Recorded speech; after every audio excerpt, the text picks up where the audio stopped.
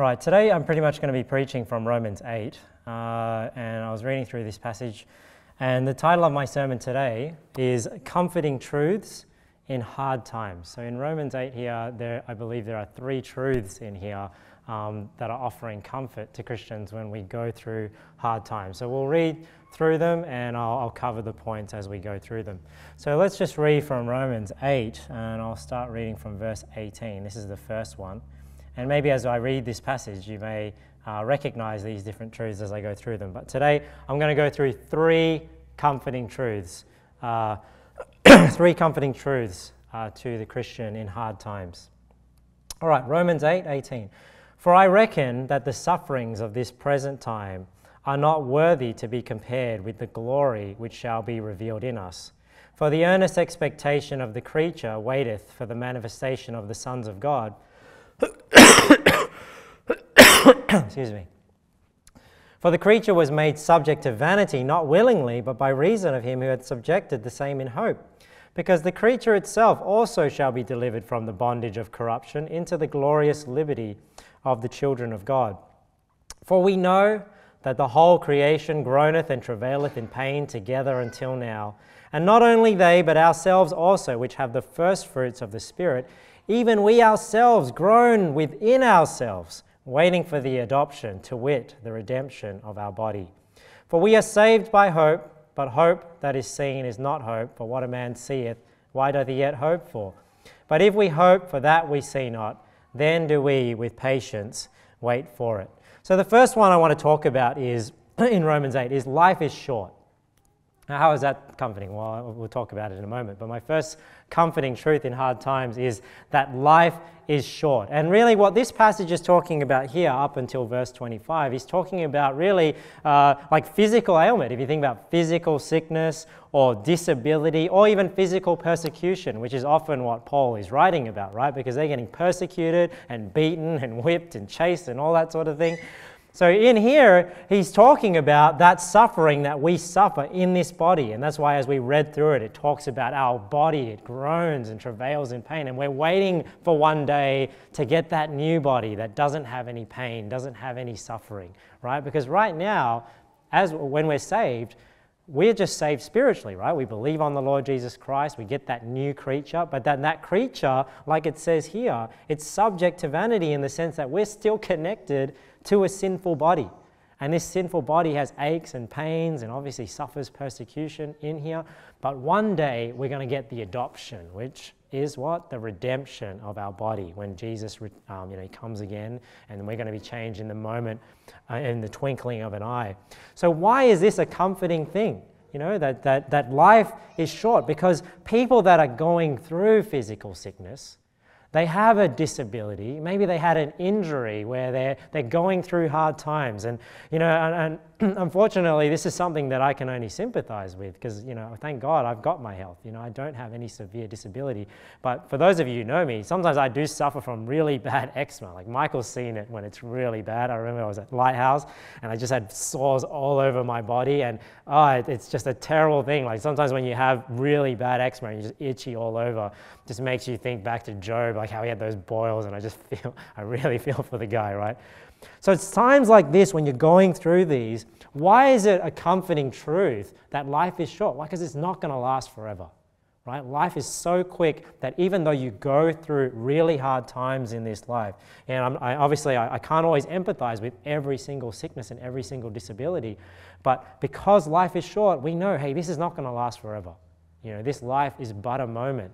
And that's why he says here in, in Romans 8 18, for I reckon, see, he's saying, I, I think, this is my opinion, right? That the sufferings of this present time, look at this, are not worthy to be compared with the glory which shall be revealed in us. So he's saying, what is he saying here? The stuff that you're going to suffer from, the illness, the disability, the persecution that you suffer in this body, it's not even worthy to even compare them, right? He is. It's kind of a bit of an oxymoron here because he does compare them. But then he's saying, you know, the what you go through here, when you get that new body, when you are resurrected, it, it's not, it, you're not even going to think about all this suffering that you went through, right?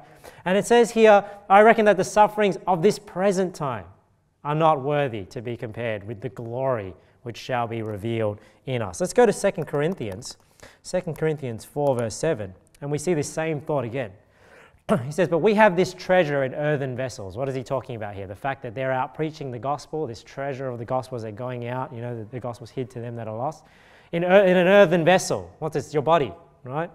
That the excellency of the power may be of God and not of us. What is he saying? We have the word of God that we're preaching. It's in an earthen vessel, but all the great deeds that get done, God gets the glory, right? Because we're in a, we're in a, a, a sinful body that's doing these things as we go out and preach the gospel and whatnot. Look at this. We are troubled on every side. So, this is the physical persecution, the actual context of this passage that Paul is talking about. Yet not distressed. We are perplexed, but not in despair persecuted but not forsaken, cast down but not destroyed, always bearing about in the body the dying of the Lord Jesus. So if you think about what Jesus went through, this is what they're going through, right? They're saying they go through this life, they're being persecuted, just like when Jesus Christ was beaten and punished and, and, and, and, and suffered for us. That the life also of Jesus might be made manifest in our body.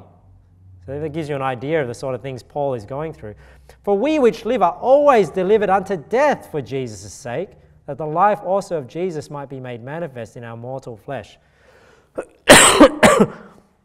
so then death worketh in us, but life in you. We having the same spirit of faith, as according as it is written, I believed, and therefore have I spoken, we also believe, and therefore speak, knowing that he which raised up the Lord Jesus shall raise up us also by Jesus, and shall present us with you. For all things are for your sakes. What is Paul saying here? The reason why he goes through all these things is so that he can preach the gospel and minister to these people in the Corinthian church. That the abundant grace might, through the thanksgiving of many, redound to the glory of God. That's the ultimate goal, right? For which cause we faint not, but though our outward man perish, right? This is the physical body, yet the inward man is renewed day by day. Look at this. For our light affliction. Now let's just stop there for a moment. We just read through that the persecution, the beating, all the things that he was going through, right? The death, the dying of the Lord Jesus Christ. And how does Paul describe that? He says, for our light affliction. Right? Does that sound like light affliction? No, right? Because he's got the right perspective. For our light affliction, compared to what? Which is but for a moment, worketh for us a far more exceeding and eternal weight of glory, while we look not at the things which are seen but at the things which are not seen, for the things which are seen are temporal, temporary, right? But the things which are not seen are eternal. So you see here, as Paul's going through this physical persecution, what's a comforting truth to him? The fact that it's light affliction. Why? Because it's but for a moment. Life is short, even if you're going through the hardest of times, because life is short. You know it's going to be over very soon compared to eternity. And he even says here, it works for us a far more exceeding and eternal weight of glory, right? Because as you go through suffering here, you are earning rewards in heaven. But life is really short. Let's just go to a very familiar passage to us and be reminded again. In James 4:13, go to now ye that say today or tomorrow we will go into such a city and continue there a year, and buy and sell and get gain.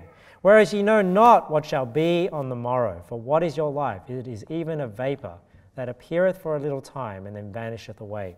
And you know, a lot of these, uh, these hard times that I'm going to be talking about today, maybe you all are not going through all these. You know, I know, I, I know quite intimately you guys' lives and things like that. Maybe you are. Maybe there are things you haven't shared with people.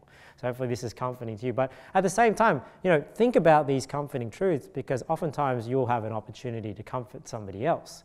And I have often gone to these passages reminding people that life is short for people that are going through really hard times, like really hard physical disability. You know, they, have had surgeries and they're going through pain, and you know, life is just really hard for them. And sometimes they just need to have their mind renewed and their, and their, and their perspective switched again to say, hey, just, just wait a second, because in this grand scheme of eternity, life is really short. You ought to just use this little life that you have. It's not, you know, it may not be that pleasant, but it's not going to be for very long either. And of course, it feels like a long time when you're going through it. So I'm not downplaying that at all. But at the same time, this is something that can comfort somebody if they have the right perspective as they're going through that, that trial. Now, the other side of this truth, because I've got the comforting truth, but there's also the other side of it too. Because life is short, there isn't that much time left You know, we always remind each other, hey, you know, when are you going to start taking the work of God seriously? You know, when are we going to start really doing things for God? And when are we, you know, going to think, hey, you know what, we, we do a lot of things in this life. Are we wasting our life? Because life is so short, isn't it? You know, I mean, uh, let's, let's go to uh, 2 Peter. I want to show you this verse here. 2 Peter 3, verse 9. Let's read here. The Lord is not slack concerning his promise, as some men count slackness, but is long suffering to usward, not willing that any should perish, but that all should come to repentance.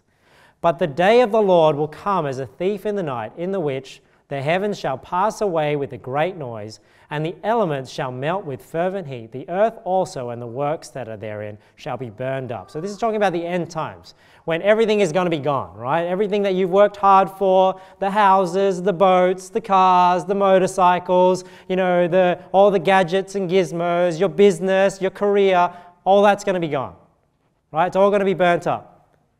And then he says here in verse 11, Seeing then that all these things shall be dissolved, what manner of persons ought ye to be in all holy conversation and godliness? What is he saying here? How should you be living your life realizing that life is short, that Jesus one day is going to come back, the, the end times is going to happen, everything's going to be burnt up, what's going to be left? You know, because oftentimes we reflect on our life and you know, you know, people go through midlife crisis and whatnot. And really, what they're thinking about is like, what did they accomplish with their life? And you know, I often, you know, I'm not, I'm not above these things in the sense that, you know, I, I obviously am tempted to do things and have pleasures in this life and things like that. Because I often think, hey, it would be really great, like if you know, uh, sometimes you, you see like people's Instagram accounts or their faces and they're traveling here and they're trying this food. Have you seen those, uh, you know, those food blogs that people do and they travel the world and they're eating all this different food? I, I always think like I'd love to go to Japan, right, and eat in those little bars and just try all the food and everything like that. So, you know, do I, do I have those sort of temptations? Of course, like that, that looks like fun. But then sometimes I need to be reminded, you know, is it really, is it really worth the money that I'm spending traveling? Doing all these things, doing all these activities. Because in the flesh, you want to do these things, right? Because you don't want to miss out. You don't want to think like, oh, I didn't get to do that, I didn't get to do this, I didn't get to travel here or try this food. But you know what? When you get to heaven, that is, you're not going to think about that at all, right? This is one thing you have to realize. When we get to heaven, you're not going to regret not taking that extra holiday. You're not going to regret not getting that better car or not building your business bigger. These are not the things you're going to regret when you get to heaven. What you're going to regret is the amount of work you did for God. That's what you're going to regret. You're going to regret not giving the gospel to more people that you could have. Why? Because you were spending all your life wasting your time doing vain things in this life. So yeah, you know, when you know we have these thoughts, you know, you know, it, it could be easy just you know spending more time traveling, you know, you don't think you don't think I have like you don't think I, I'm not like talking myself up here, but I'm just saying like you don't think I have the potential to just like spend more time developing my career, building a business, you know, having that time, you know, if, if I didn't do the things I did for God, you know, if I didn't invest that time, no, of course, it, people can, right? They can do these things. But why? But the reason why we decide, hey, you know what? I'm going to spend my life serving God. I'm going to invest time into soul winning. I'm going to invest time studying the Bible, preparing these sermons, trying, you know, I want to be used by God to put this church together and whatnot. Why? Because we can see past these things. The Bible says here, seeing then that all these things shall be dissolved. What manner of persons ought ye to be in all holy conversation and godliness? So life is short. So, yes, when we're going through hard times, it's a comforting truth, isn't it? Life is short. The, at the other side as well, it kind of gets us going, doesn't it? Because we're reminded, hey, life is short. I better start serving God. Uh, Ephesians uh, 5 14, it says here, Wherefore he saith, Awake thou that sleepest, and arise from the dead. What is he saying here? Wake up, guys. Wake up to the fact that you don't have much life. Right? A lot of you here are very young. We're a very young church. And when you're in your 20s and your 30s, you just think you've got your whole life ahead of you. You don't know. What if you get an illness? What if you get sick? What if you die in a car crash? What if, you know, you don't live to where you think you're going to live? You know, and even if you do, life just goes so quick. You know, life is so quick that, you know, you just think, I'm just going to, I'll get to God eventually. I'll eventually serve God. And eventually that time never comes. It says here, see, that, see then that ye walk circumspectly, not as fools, but as wise, redeeming the time because the days are evil. Wherefore, be not unwise, but understanding what the will of the Lord is. So that's number one. Number one, let's go back to Romans 8.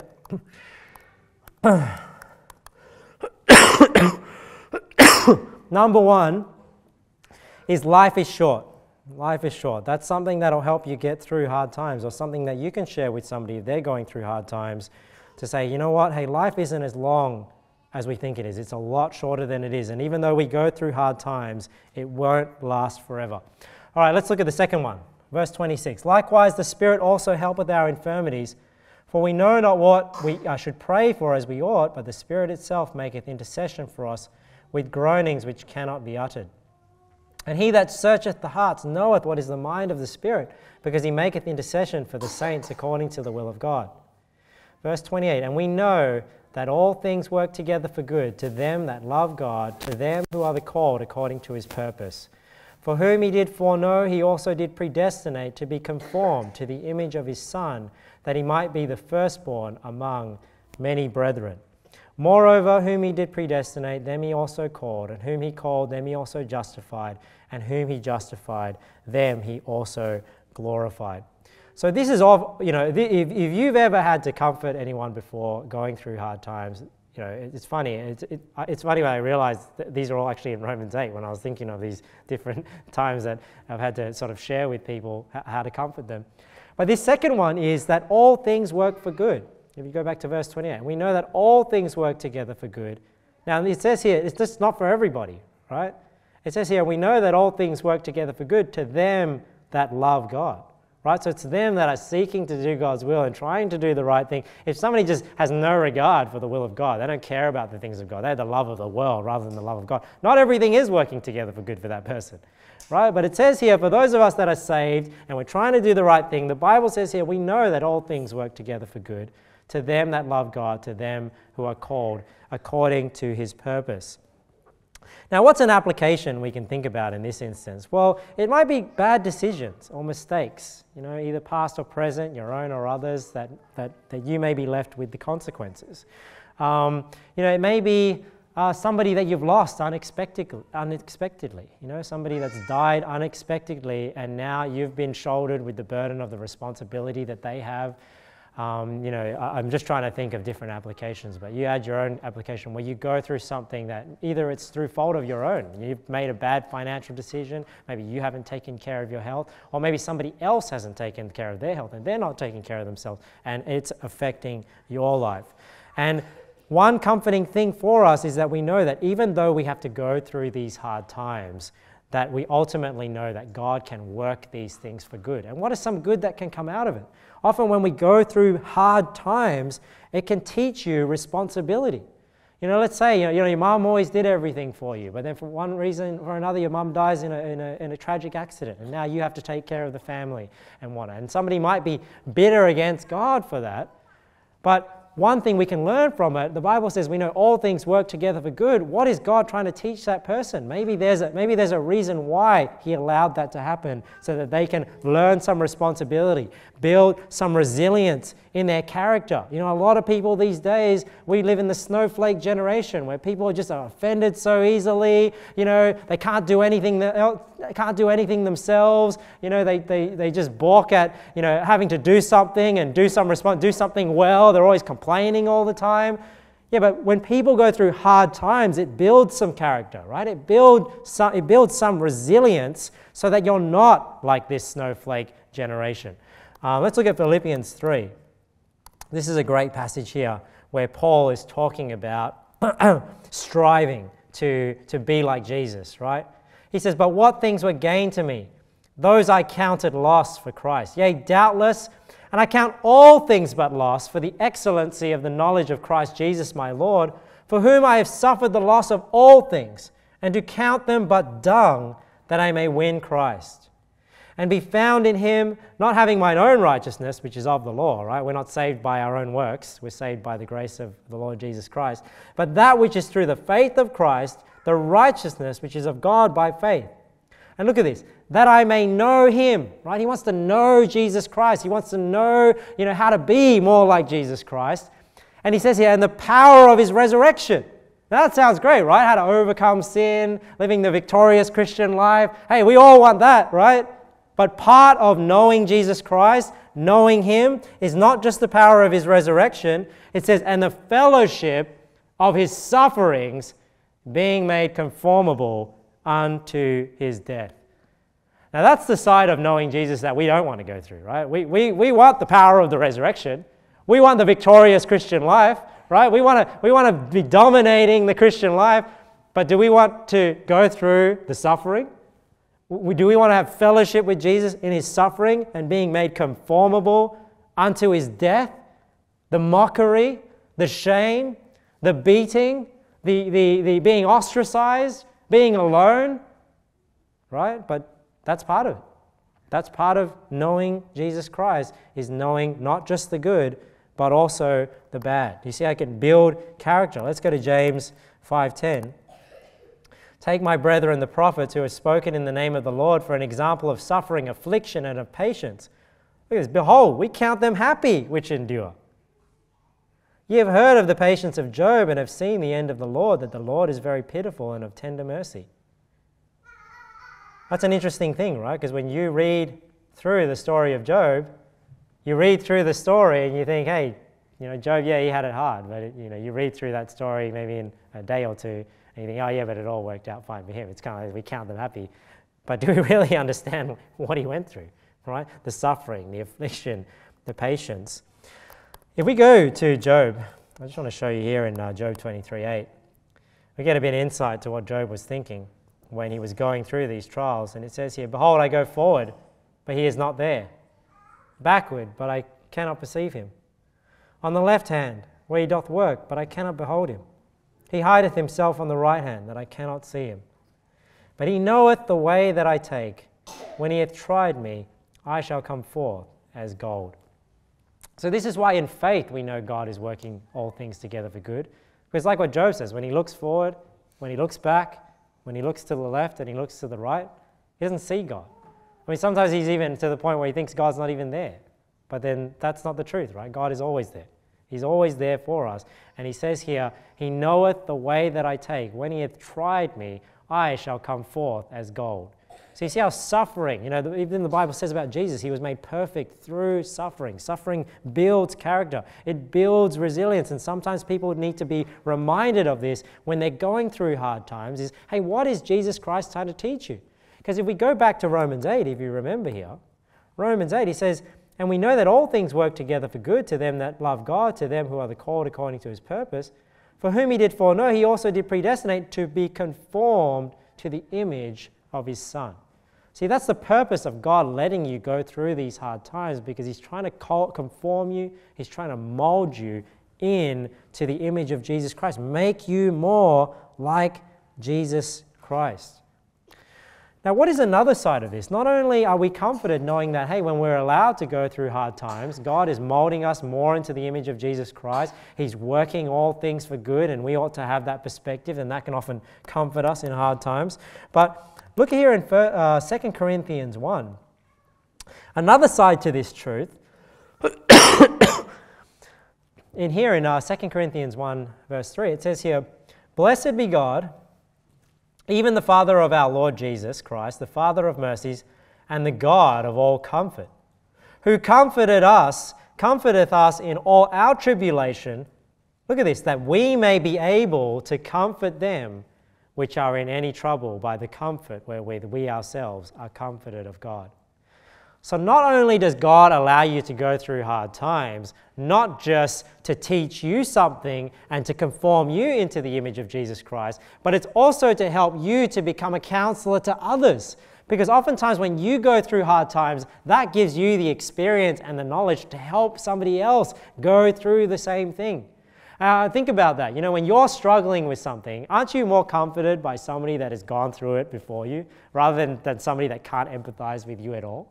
You know, like if, you're, if you had to go through a surgery or you, you have some disability, if you're being comforted by somebody that never has had that disability, that doesn't have the same effect as somebody who has that disability too and they're trying to comfort you.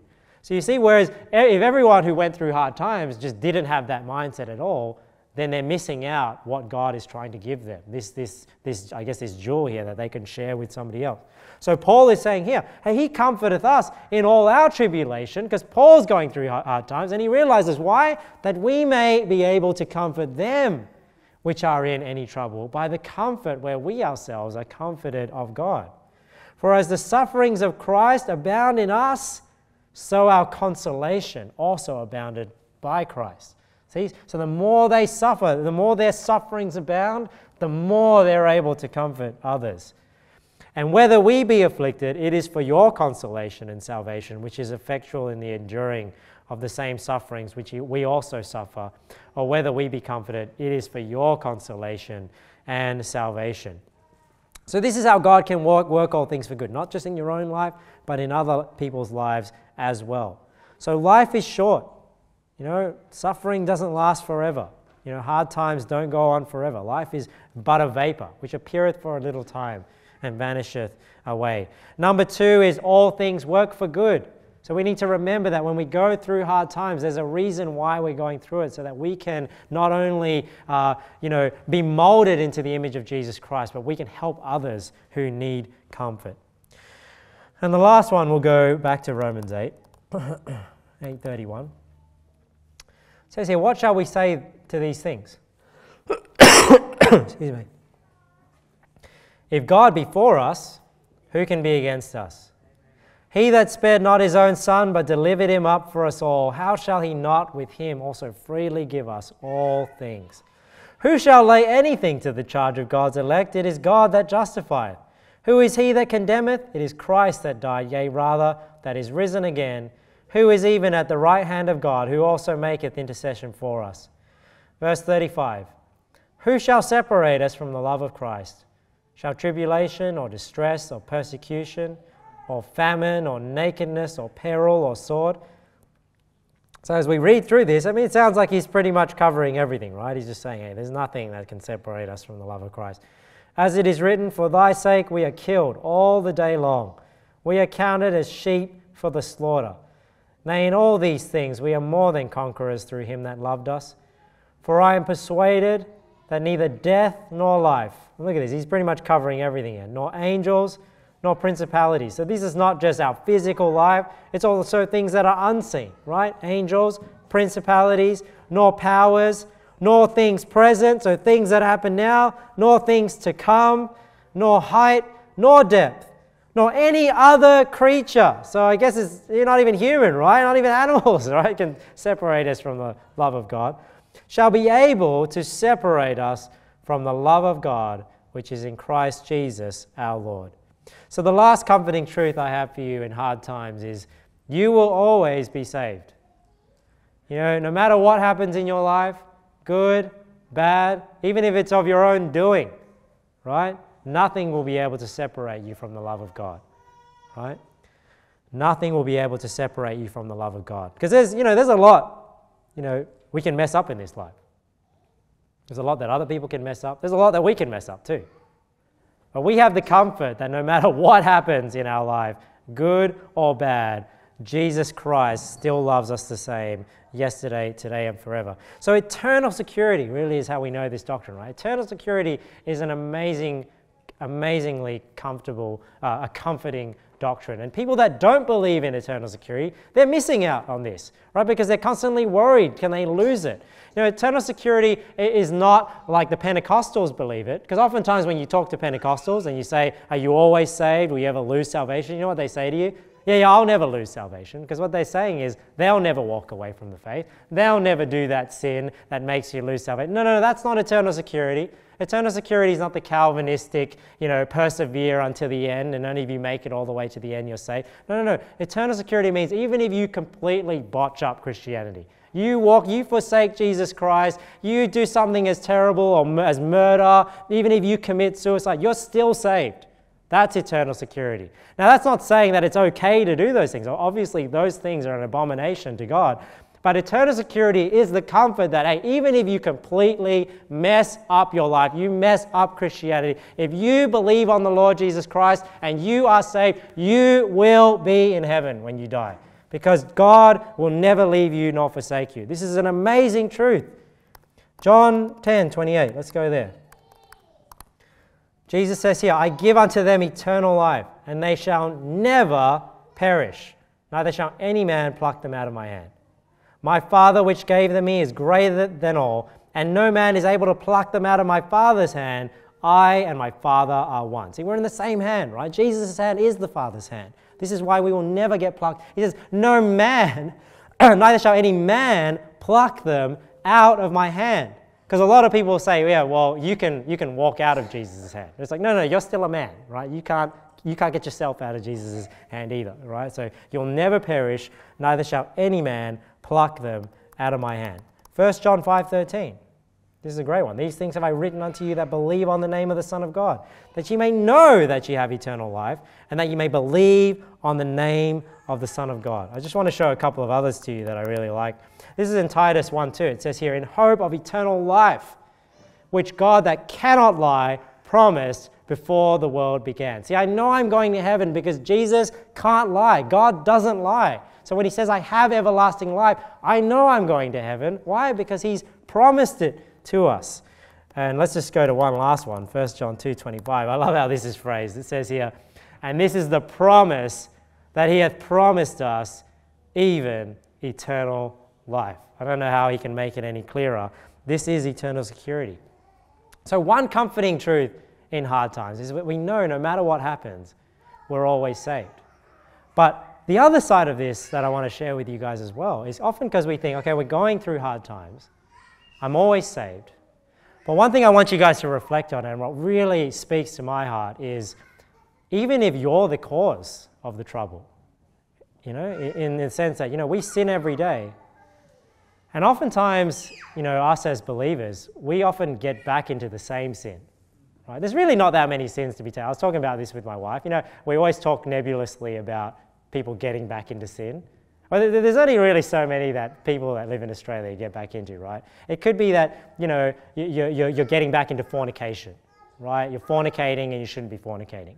Or you're watching pornography and you shouldn't be watching pornography or you know you're, you're getting drunk and, and getting you know get, taking drugs or something and getting back into that. Or you know maybe you, you struggle with anger and you've, you've, you've, you've railed on somebody again and you feel terrible about it. Or um, you know what's another one? Maybe you're lazy you know you've just been lazy and you can't get yourself up. And what, what happens is what i want you to reflect on is you know often when those things happen and we've all been there you know, we've all been there when we go back into the same sin what happens? You just feel so disgusted with yourself don't you you just think, especially, you know, like I, I struggled with pornography for a long time, right? Trying to get away from that. And it's like every time it's the same with people that struggle with pornography, people that struggle with fornication, it's the same thing. When they go back to it, you just feel absolutely disgusted with yourself. And what do you start thinking? God's done with me, right? You start thinking those things when you get back into those same things. You just think, God's done with me. And I don't think God wants anything to do with me, right?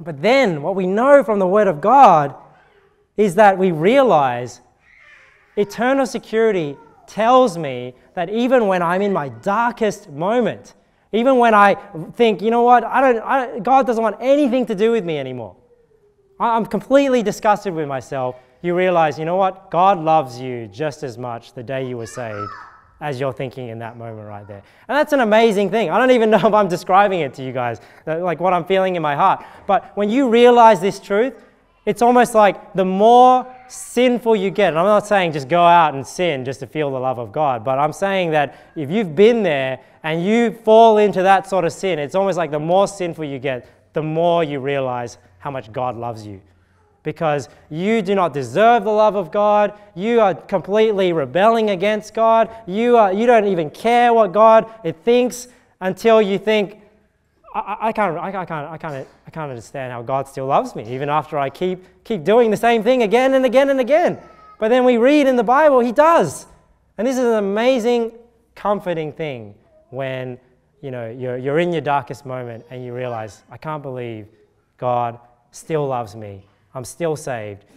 You know, and, and that's why it's, it's amazing when we talk to people about the gospel. We say, you know, you, don't, you, didn't, you didn't do anything to earn God's love.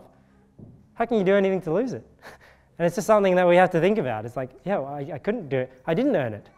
Right? So, so why am I in this moment where I'm thinking God doesn't love me anymore when I never did anything to earn it to begin with. God loves me through His grace, through, through the Lord Jesus Christ. So when you realize that, when you, when you think about those things, these are really comforting. But the other side to it as well, 2 Corinthians 5.14, I'll just end on this passage.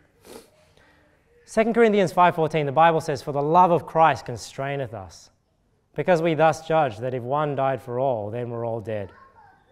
Right? The fact that we know Jesus Christ died for us, we know that we have eternal life. We know that even in our darkest moments, Jesus Christ still loves us the same, yesterday, today, and forever. That love ought to compel you to serve Him.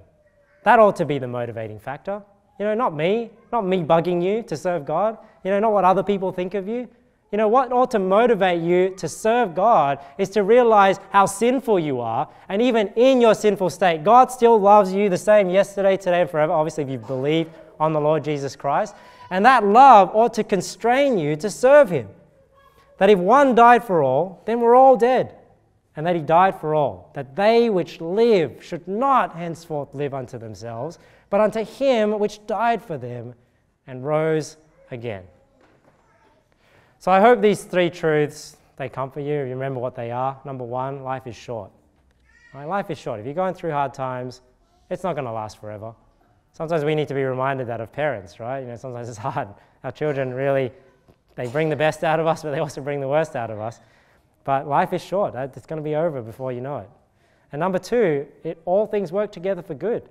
You know, God is going to mold you through this. Don't miss the lesson that He's teaching you when you're going through hard times and be ready to learn because one day you might need to comfort somebody else. And the last one is no matter how bad it gets, no matter how bad you get, right, you're always going to be saved. Thank God we have that love. And I pray that that love, you know, really compels you to serve Jesus Christ. That ought to be the driving factor in our Christian life. All right, let's pray.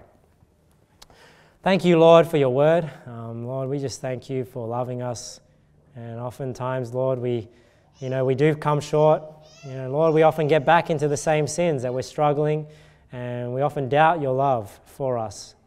So thank you for reminding us today, Lord, that nothing can separate us from your love. Sure, Lord, we'll be chastised, and we'll, there'll be consequences for wrong things that we do. But Lord, it's always lovingly chastised, chastisement from you. Lord, you're doing it to mold us into a better person. Help us to not only know the power of your resurrection, but also the fellowship of your sufferings. Um, so thank you, Lord, for comforting us through your word. And pray, Lord, that your love would constrain us to, to serve you and that we should not henceforth live for ourselves, but for you who died for us. We thank you, we praise you. Um, in the name of the Lord Jesus Christ, amen.